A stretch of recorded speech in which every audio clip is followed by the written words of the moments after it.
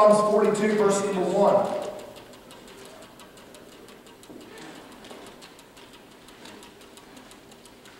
Psalm 42, verse number 1. the Bible says, As the hart panteth after the water brooks, so panteth my soul after thee, O God. Can you say that this evening? My soul thirsteth for God, for the living God. When shall I come and appear before God? The psalmist had a desire and a longing in his heart and in his soul to fellowship with God in prayer. How long has it been since you and I have had sweet fellowship with the Lord? How long has it been since you came before the throne of grace and poured out your heart before God? How long has it been since you spent time with God in prayer? Amen.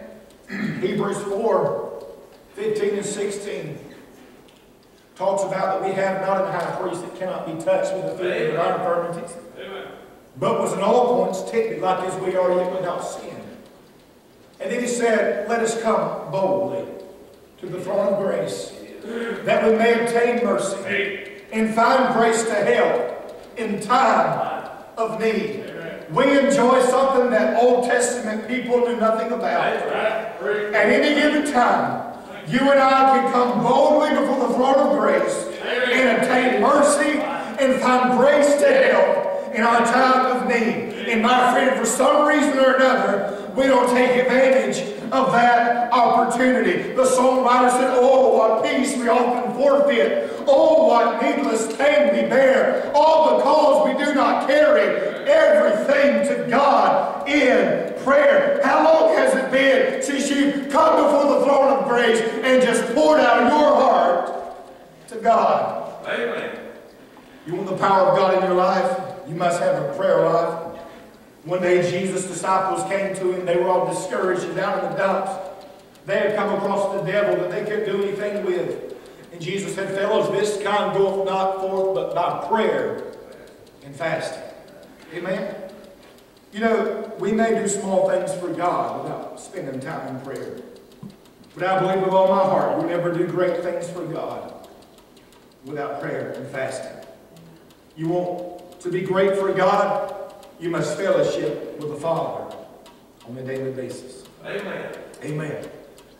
Number three, a third thing we can be faithful in is faithful not to forsake the house of God. Faithful not to forsake the house of God. Hebrews 10 25, not forsaking the assembling of ourselves together as the manner of some is, but exhorting one another in so much the more as you see the day approaching.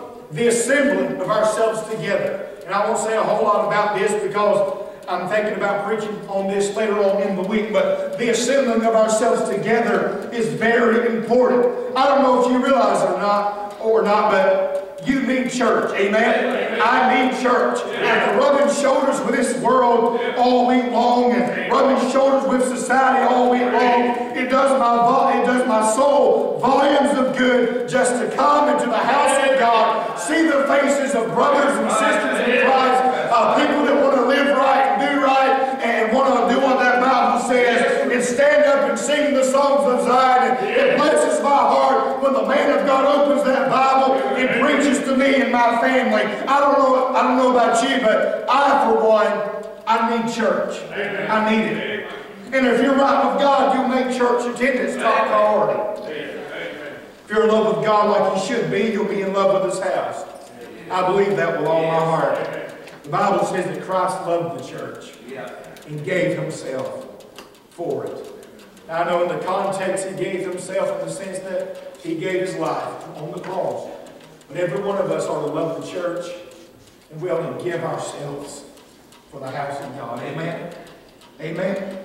You ought not to schedule church around your life.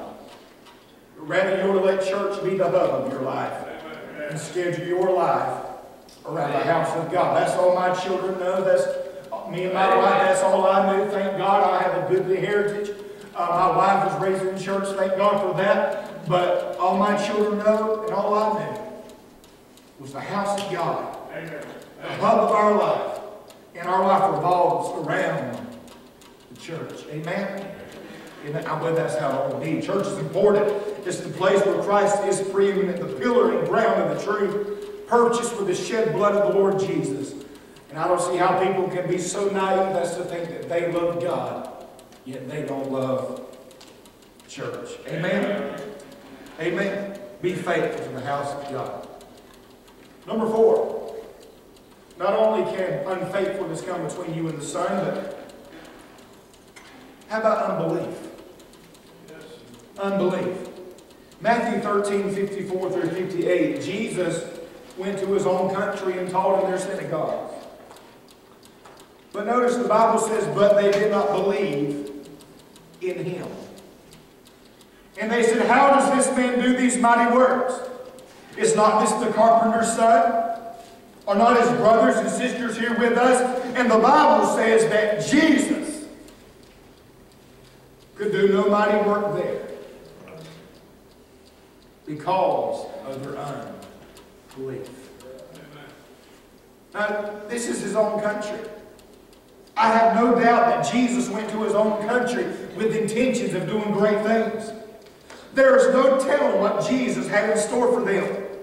But because of their unbelief, they limited the very power of God in so much that Jesus did not do many mighty works there Amen. because of their unbelief. Now listen for a moment. There's no telling what God wants to do in your life. Amen. There's no telling what God wants to do in your home. There's no telling what God wants to do in the church. But the devil's done filled your head with all sorts of lies. He's filled your mind with all kinds of doubt, and you can't get on board with what God's trying to do because of your unbelief. And because you can't believe God, you've thrown a monkey wrench in the work of God and bogged the whole thing down because of your unbelief. Listen, we serve a big God. Amen. He spoke this universe into existence. All power in heaven and earth belongs to Him. He's able to do exceeding abundantly above all that we can ask or think.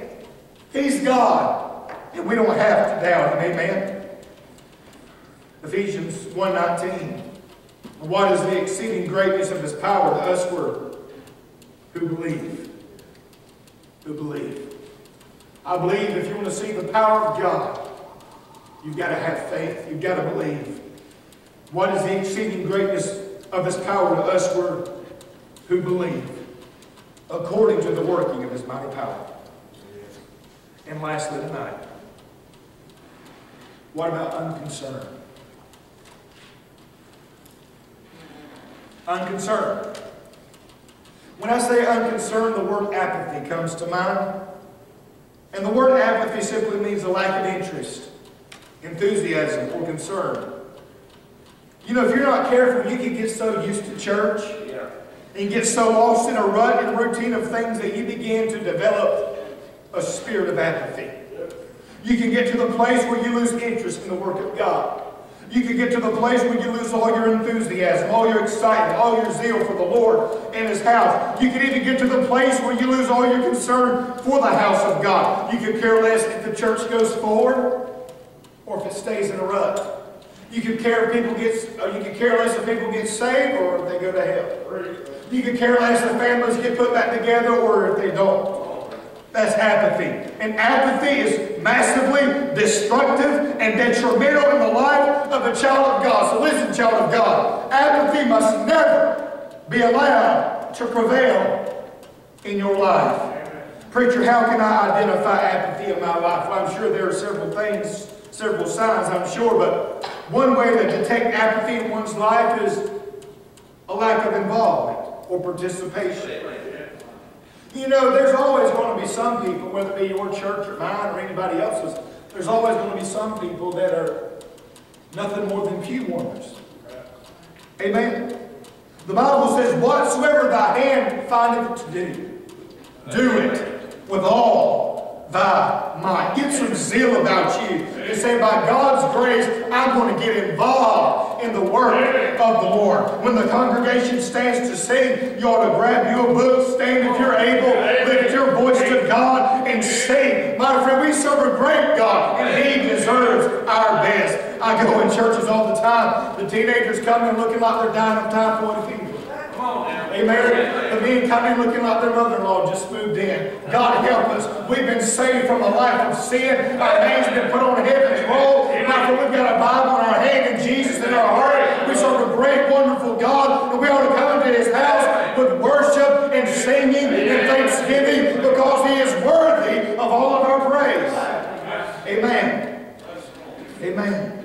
I believe if you sing this special, you ought to give it your best. Yeah. Amen. Get some zeal, get some enthusiasm, and say, I'm going to do my best for the Lord. He gave his best for me. I'm going to do my best for him. I if you preach a sermon, you ought to give it your best. Now listen, I believe there's a line that should be drawn. You shouldn't go around with your only motive being trying to be the best preacher. That's not what it's all about. But I'm telling you what, if you get behind this pulpit, or if I get behind this pulpit giving anything less than my best, we have done our great God a great disservice. My friend, He's done so much for us. And the psalmist said, What shall I render to the Lord for all his benefits towards me. And my friend, if I begin to think about all the benefits that God has put on my life, my friend, I can't give God any less than my best. Amen.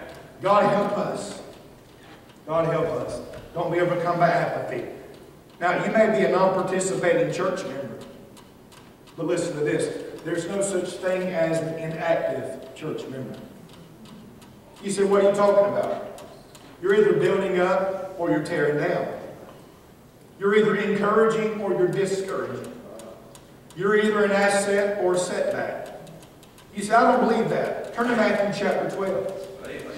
Matthew chapter 12, verse number 30. I'll give you just a moment to turn, and I'm going to drink the water. Amen. Matthew 12, verse 30. Listen to what Jesus said. He that is not with me is against me. And notice this, and he that gathereth not with me scattereth abroad. I don't know about you, but I want to be a church member that's on board with the work of God. I want my pastor to know I'm with him. I want my pastor to know I've got his back. I want my pastor to know that he can count on me. I want my Lord to know he can count on me. I want my Lord to know that I'm with him and not against him. And I don't want to be one that scatters, but rather one that would gather. Amen? Don't be overcome by apathy. Anything between you and the sun tonight? I don't even know if I can begin to remember all my points. The last one was unconcerned. Is there any concern between you and the Lord tonight? Somebody help me. What was my next Uncleanness was the first. Any uncleanness between you and God tonight? Any unforgiveness between you and the Lord tonight?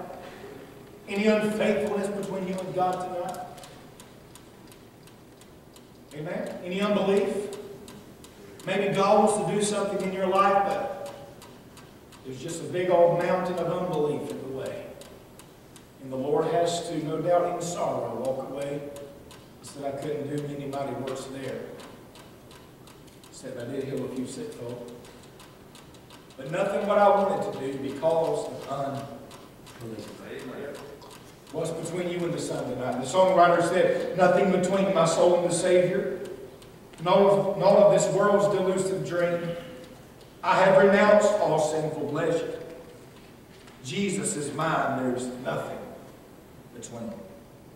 Nothing between my soul and the Savior so that his blessed face may be seen. Nothing preventing the least of his favor. Keep the way clear. Let nothing between. Nothing between worldly pleasure, habits of life, though harmless, may seem. Must not my heart from him ever sever? He is my all. There's nothing between. Can you say that tonight? Nothing between my pride or station. Self-life or friends shall not intervene. Though it may cost me, and it will, much tribulation, I am resolved there's nothing between. Nothing between in many hard trials. Though the whole world against me convene, watching with prayer and much self-denial, I'll triumph at last with nothing between. Let's stand, preacher. Thank you.